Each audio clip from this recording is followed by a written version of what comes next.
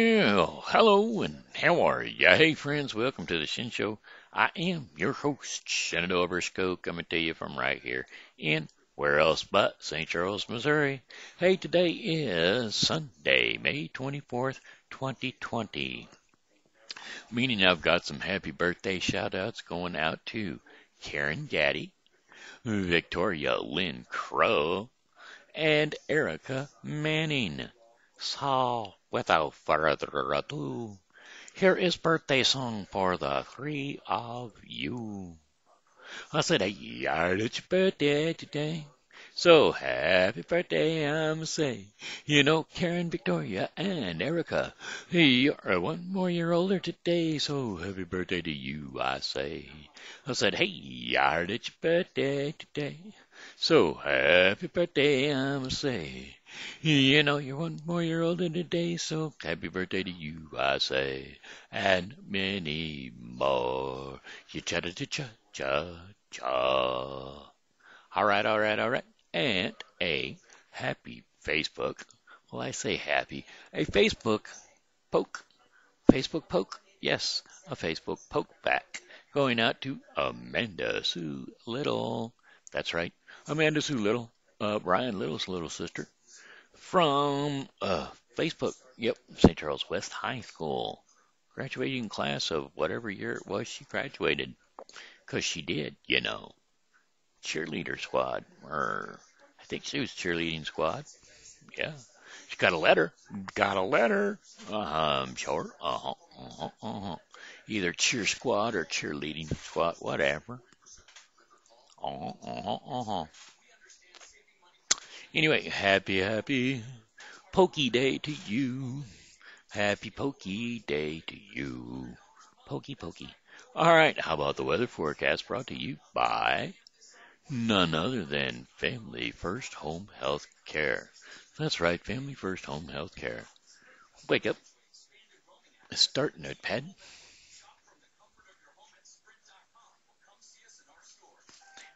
Family first.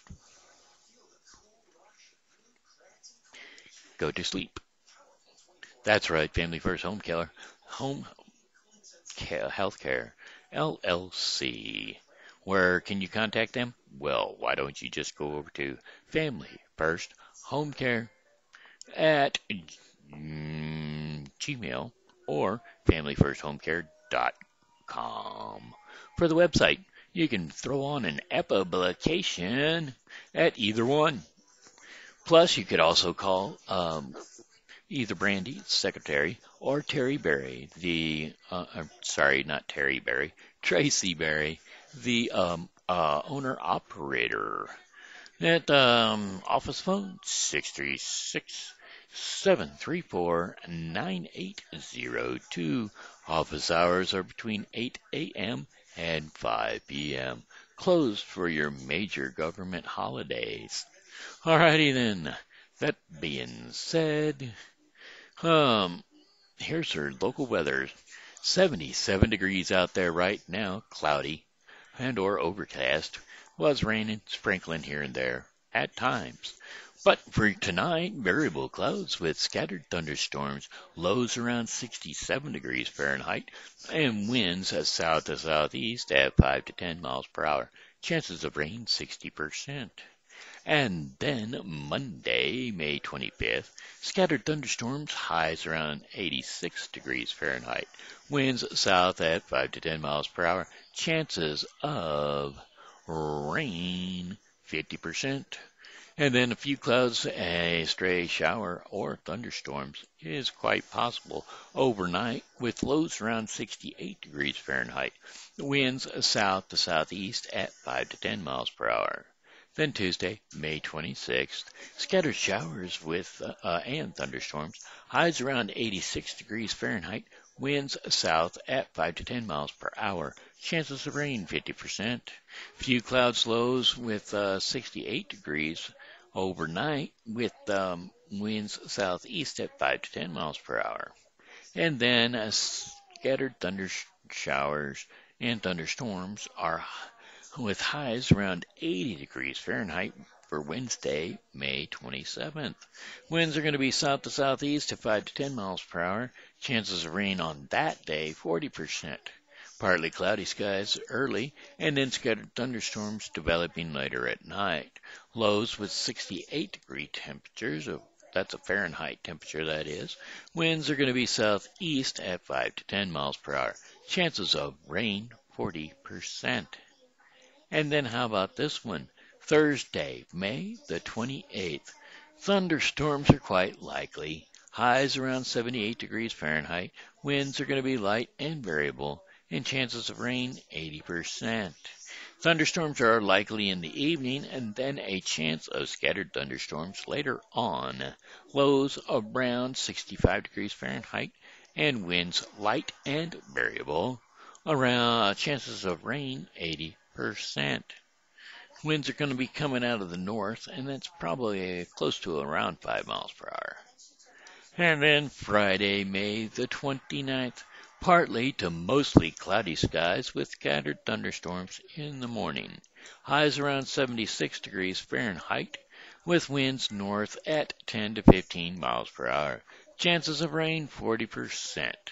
Now partly cloudy with lows around 59 degrees Fahrenheit overnight with north to northeast winds at 5 to 10 miles per hour.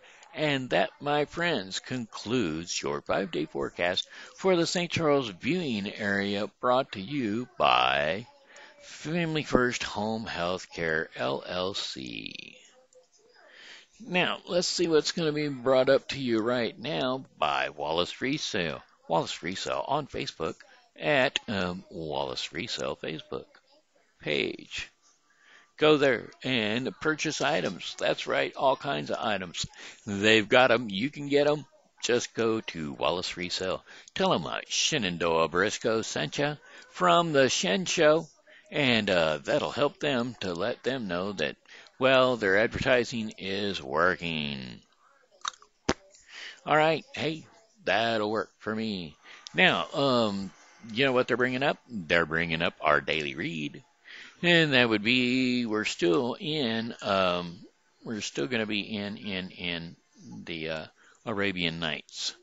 So, and we're still in the Talking Bird. So here we go with the Arabian Nights. Okay, um, we left off with the garden keeper building that huge mansion and building the garden grounds so that uh, and putting deer on it uh, fallow deer, so that the princes, the princes and the princess might divert themselves with hunting when they chose. So here we go. When the country seat was finished and fit for habitation, the intendant of the gardens went and cast himself at the emperor's feet, and after re- after re- representing how long he had served and the information of age which he had found found growing upon him, begged that he might be permitted to resign his charge into his Majesty's dispo- disposal and retire. Well, the emperor gave him leave, and with the more pleasure because he was satisfied with his long service, both in his father's reign and his own, and when he granted it, asked what he should do to recompense him, recompen, recompensate him. Hold on, drink of water.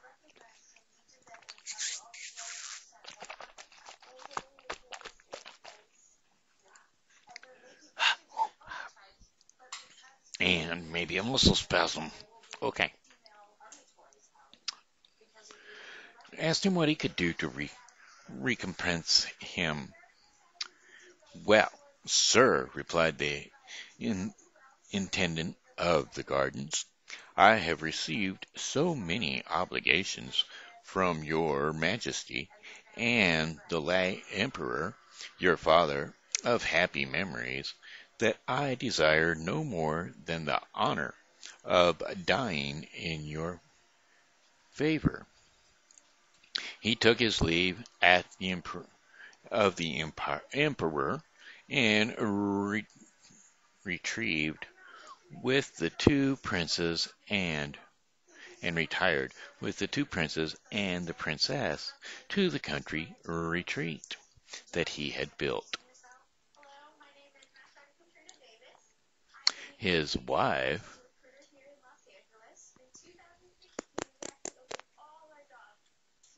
lost it, of course.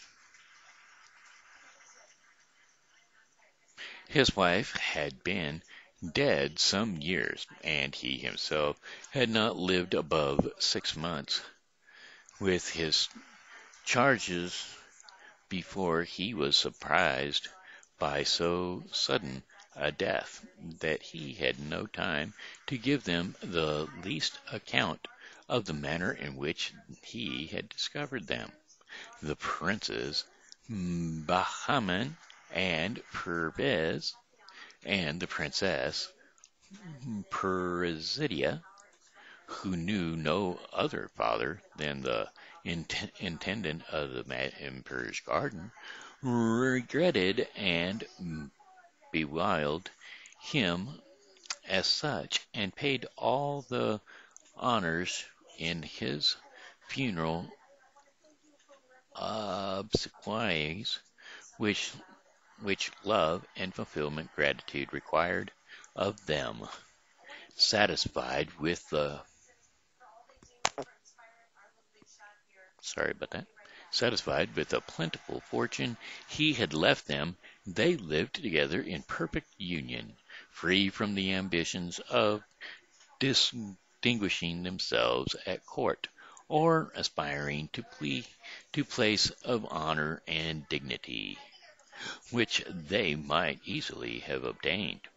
One day, when the two princes were hunting, and the princess had remained at home, a religious old woman came to the gate and desired leave to go in to say her prayers. It began then the oh it being the hour. It being then the hour. Well, the servant asked the princess permission, whom ordered them to show her into the oratory, which the intendant of the emperor's garden had taken care to fit up in his house for want of a mosque in the neighborhood. She bade them also, after the good woman had finished her prayers, to show her the house and garden, and bring her to the hall. The old, the old woman went into the uh, oratory, said her prayers, and when she came out to the princess's women invited her to see the residence, which civility, which civility she accepted, followed them from one apartment to another. Followed them from one apartment to another. And observed like a person who understood what belonged to belonged to furniture, the nice arrangement understood the nice arrangement of everything. They conducted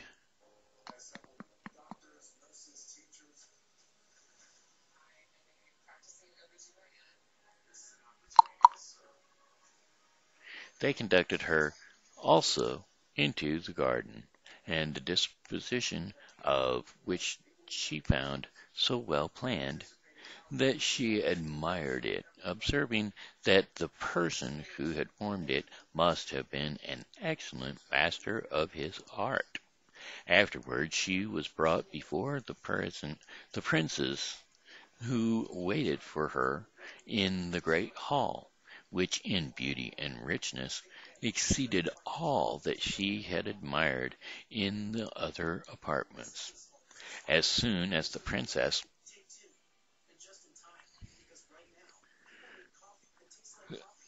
sorry about that. Mm, as soon as the princess saw the devout woman, she said to her, My good mother, come near and sit down by me. I am overjoyed at the happiness of having the opportunity of profiting for some moments by the example and conversation of such a person as you, who have taken the right way by dedicating yourself to service uh, to the service of God. I wish everyone were as wise and were as wise. The devout woman, instead of sitting on a sofa, would only sit upon the edge of one.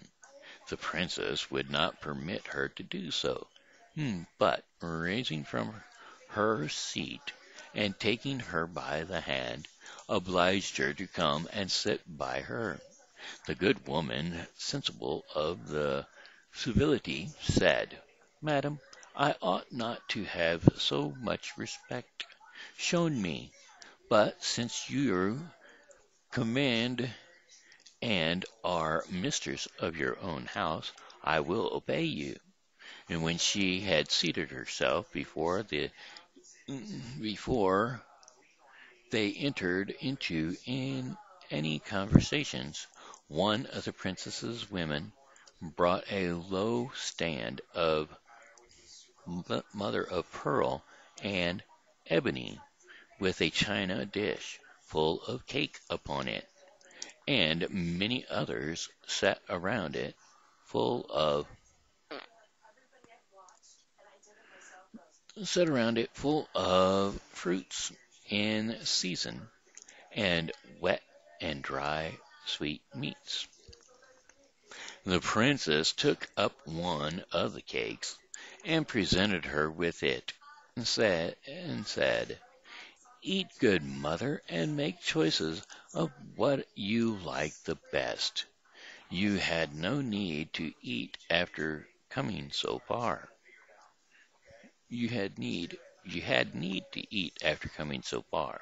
Madam, replied the good woman, I am not used to eat such delicacies, but will not refuse what good has what God has sent me by so liberal a hand as yours.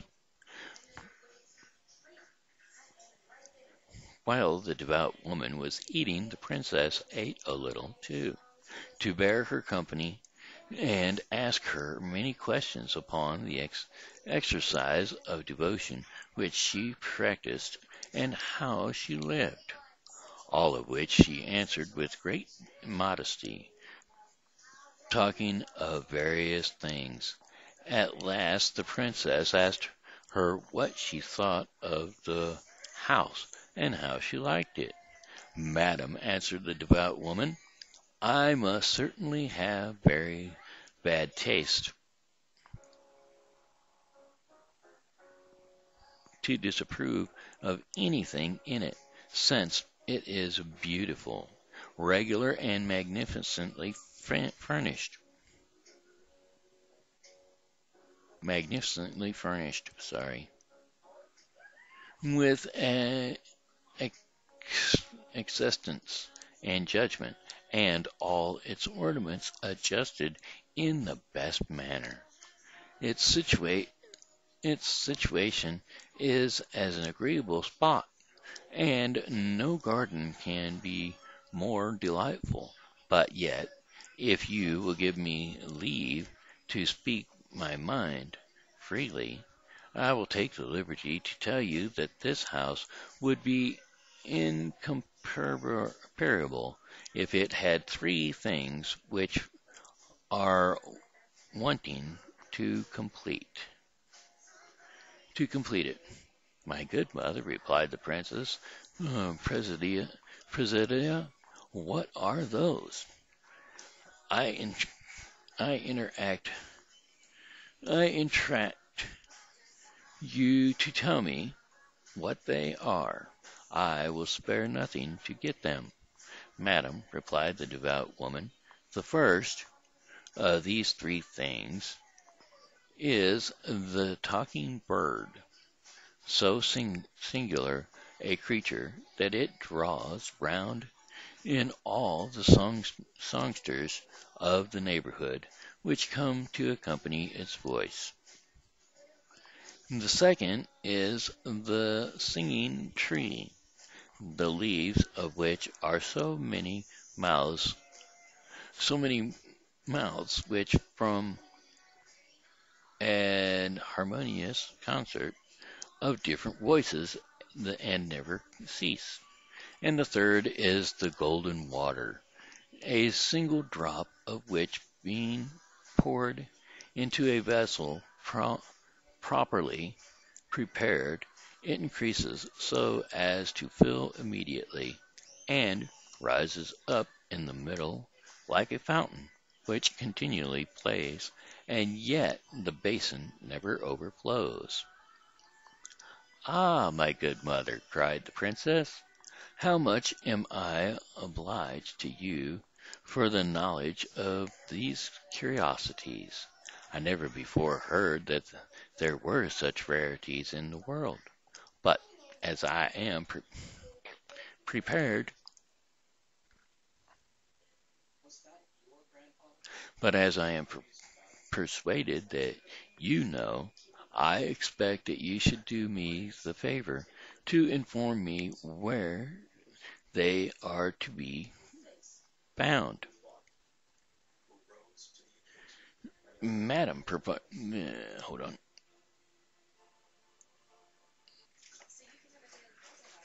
Doo, doo, doo. Sorry about that. Oh, lost myself again. Every time I stop, my mouse clicks and the page turns. Madam, replied the good woman, I. Oh, okay, that they are to be found. Madam, replied the good woman, I should be unworthy the hospitality you have shown me if I should refuse to satisfy your curiosities on that point, and am glad to have the honor to tell you that these curiosities are all to be met within the same spot on the confines of this kingdom toward India. The road lies before your house, and whoever you send needs but follow it for twenty days, and on the twentieth only let him ask the first person he meets where the talking bird, the singing tree, and the golden water are, and he will be informed. After saying this, she rose from her seat, took her leave, and went her way. The Princess Perzedia, the Princess Perzedia's thoughts were so taken up with the talking bird, singing tree, and golden water that she never perceived the devout woman's des- uh, departure until she wanted to ask her ask her some questions for her better information, for she thought that what she had been told was not a sufficient reason for exposing herself by undertaking a long journey. However, she would not send after her visitor, but endeavored to remember all the dis- directions and when she thought she had recalled every word, took real pleasure in thinking of the satisfaction she would have if she could get these curiosities into her possession. But the difficulties she apprehended and the fear of not succeeding made her very uneasy. She was absurd. She was abs- absorbed in these thoughts, and when her brothers returned from hunting, who, when they entered the great hall, instead of finding her lively and gay, as she was, won't, as she was wont to be, were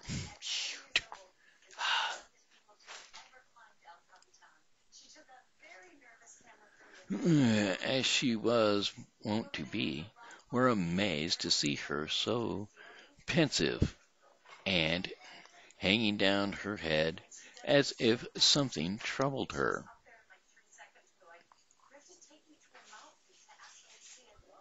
Sister, said Prince Bahama, Bahaman, what has become of all your mirth and gaiety?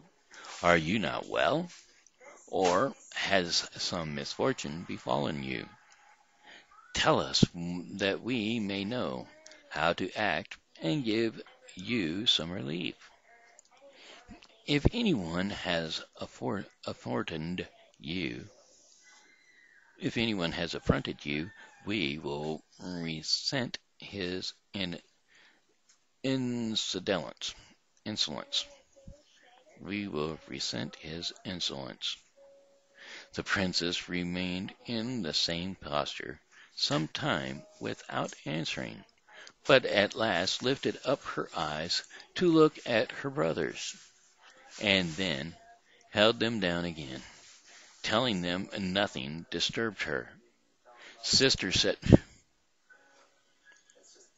Sister, said Prince Bahman, you concerned the you conceal the truth from us, and there must be something of consequence.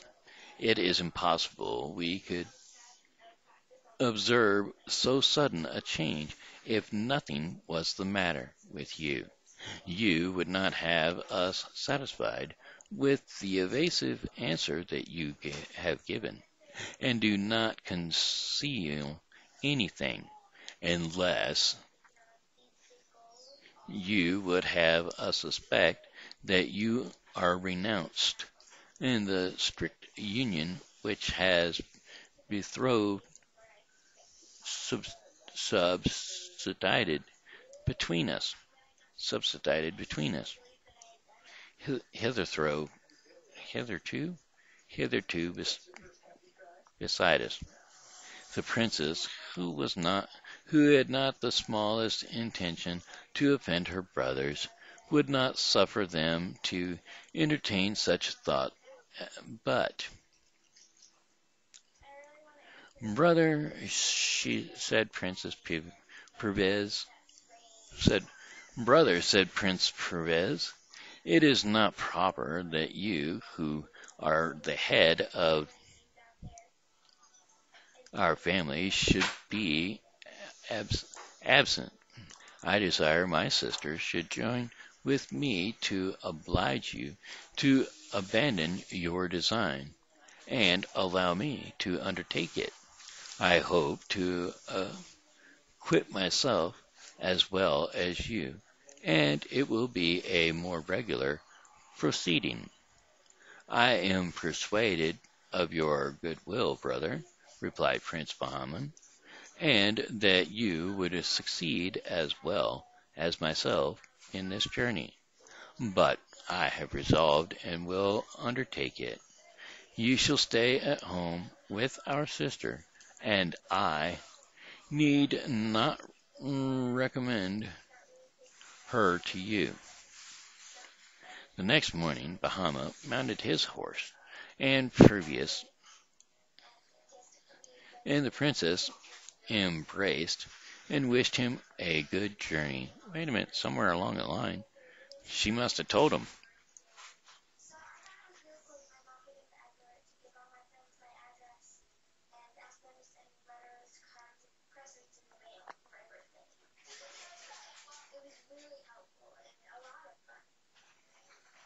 Okay, sorry, I must have jumped to the wrong page. Anyway, the Arabian uh, her some questions for her better information, for she thought that what she had been told was not a sufficient reason for exposing herself by undertaking a long journey. However, she would not da da da da da da. Okay, you may think as you please, but I cannot help telling you that I am persuaded they are absolutely necessary, and I shall not be e- easy without them. Okay. This is a whole page that I missed. No wonder. Wasn't making a whole lot of sense, was it? Uh, the princess, who had not the smallest int- intentions to offend her brothers, would not suffer them to entertain such th- a thought, but said, When I told you nothing disturbed me, I meant nothing that was of importance to you, but to me. It is of some consequence. And since you press me, uh,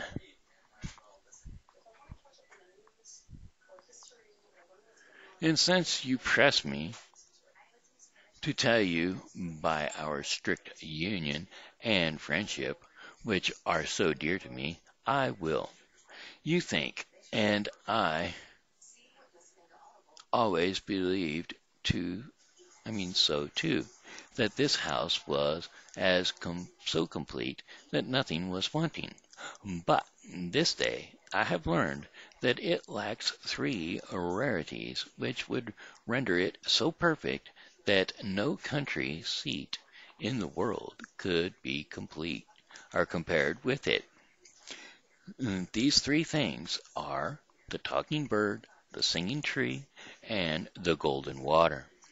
After she had informed them wherein consisted the excellency of these rarities, a devout woman added she had made this discovery to me, and told me the place where they are to be found, and the way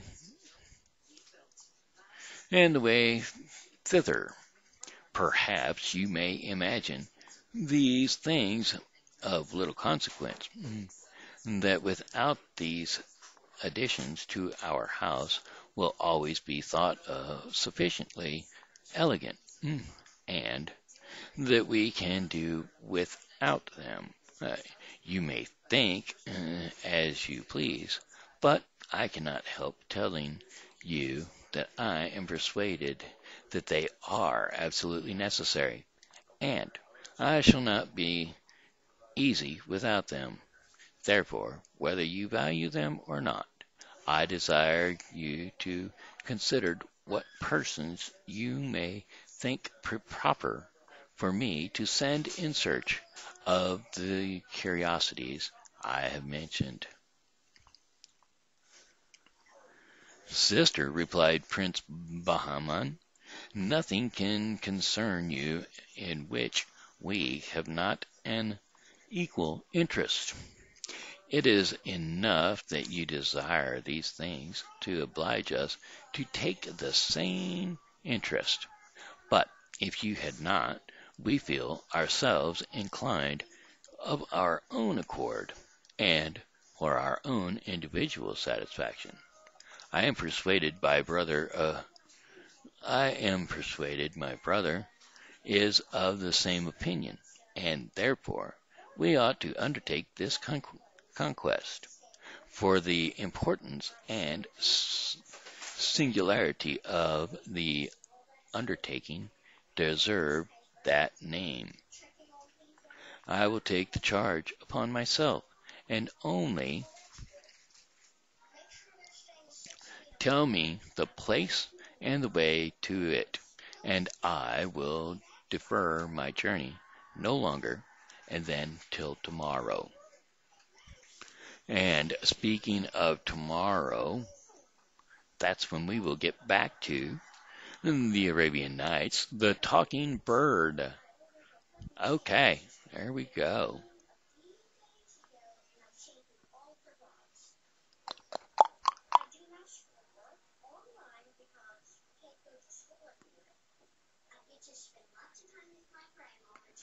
Okay, okay, that looks like it's about time for our portion of the program called Our Daily Bread, brought to you by none other than the Bible with Briscoe 2020, which is a daily reading of the Bible to be completed in, within one year with your messenger of the Word of God, Shenandoah Briscoe. Today, in the Bible with Briscoe, episode 145, we will be covering 1 Chronicles 22 through 24 and John 8 28 through 59. That's the Bible with Briscoe 2020 on YouTube. All right, hey, uh, let's see here. Uh, today's devotion is called Talking Tables. Talking Tables. Well, I be? And uh, today's scripture for the uh, devotion, Talking Tables, is Acts 2 42 through 47. And so I can read Acts 2 42 through 47 but you uh, can I cannot read the Daily Bread because they have their own narrated version. So therefore, you should be able to go onto odb.org and press on the little emblem over there on the left that says Daily Devotion and go ahead and read that for yourself. Now, it is only proper that I should say you should give a little donation so that they can help spread the word all around the world to spread their pamphlets and their web page. In Jesus' mighty name, amen. All right, here we go. The talking tables, Acts 2:42 through 47. The fellowship of the believers. They devoted themselves to apostles, teaching, and the fellowship, to be to the breaking of bread, and to prayer. Everyone was filled with awe at the many wonders and signs performed by them, by the apostles. Hmm. All the believers were together and had everything in common. They sold property and possessions to give anyone who had need. Every day the, they continued to meet together in the temple courts.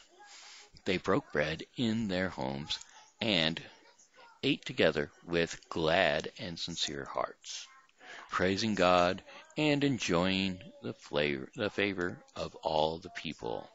And the Lord added to their number daily those who were being saved. Okie dokie, that concludes our portion of the program called Our Daily Bread, which was brought to you by the Bible with Briscoe 2020.